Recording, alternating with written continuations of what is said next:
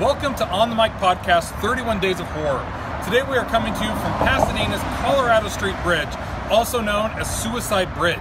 This bridge was first constructed in 1912, claiming its first suicide November 16, 1919.